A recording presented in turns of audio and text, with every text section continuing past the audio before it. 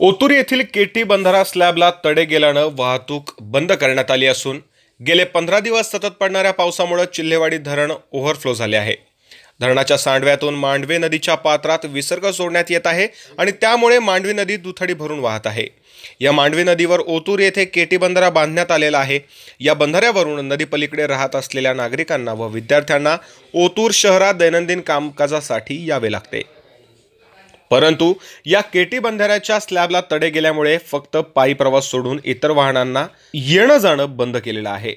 याबाबत ओतूरचे सरपंच संतोष शेठ तांबे यांच्याशी संपर्क साधला असता समाज दर्पणशी बोलताना त्यांनी सांगितले संबंधित खात्यातील अधिकाऱ्यांशी संपर्क साधला असून यावर तातडीनं कार्यवाही करण्यास सांगितले आहे.